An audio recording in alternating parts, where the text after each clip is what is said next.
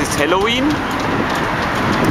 und hier fliegen jede Menge Flughunde durch die Gegend. Ja, das passt. Dracula.